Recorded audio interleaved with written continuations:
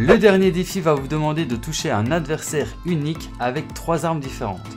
pour réaliser ce défi, vous aurez besoin de trois armes différentes, donc un fusil d'assaut, euh, un pistolet mitrailleur et un fusil à pompe. Ensuite, ce que vous allez devoir faire avec ces trois armes, c'est de trouver un adversaire et de le, de le toucher avec les trois armes sans le tuer.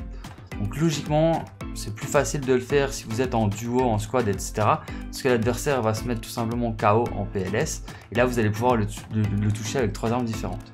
Sinon, vous allez tout simplement devoir trouver un adversaire, lui tirer une balle avec votre fusil d'assaut, ensuite avec votre pistolet mitrailleur et ensuite avec votre pompe sans l'éliminer. Dès que vous aurez réussi à toucher un adversaire avec trois armes différentes sans le tuer, là vous aurez terminé le défi et vous débloquerez les récompenses. Code créateur SCM.